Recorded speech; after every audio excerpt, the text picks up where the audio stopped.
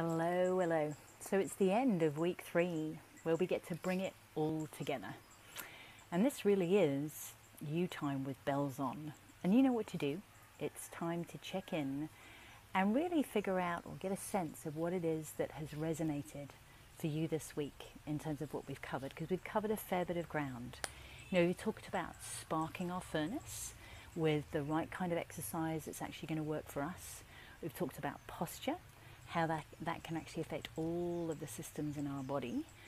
We talked about that general awareness on the way that our bodies are actually built to move and a way to act, ways to actually fit that in to our lives. So I want you to grab a grab a pen, paper, your phone right now and diarize that. Schedule it in because when it's in our diaries, it is real. And that might be figuring out the time, you know, putting half an hour aside to find where you're going to be able to track down that stationary bike that's going to make exercising a lot more of a, a straightforward thing to fit into your life.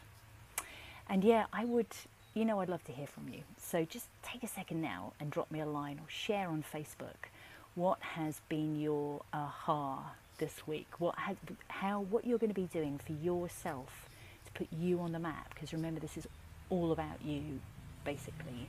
And what this does is it means that we're may, way more likely to actually do it when we, when we declare it, when we say it out loud to other people.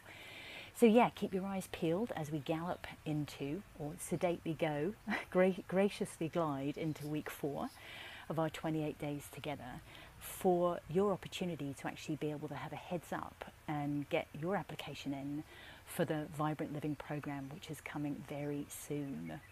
So yeah, I'm super excited about that. Can't wait to share it with you. Anyway, I promised I wouldn't yet. So have a fabulous one, and I look forward to seeing you next week.